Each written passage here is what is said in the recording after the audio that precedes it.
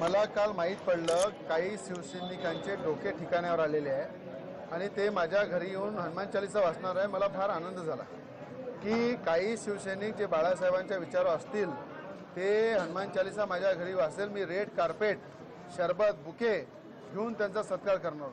पण या ठिकाणी ते आले नाही.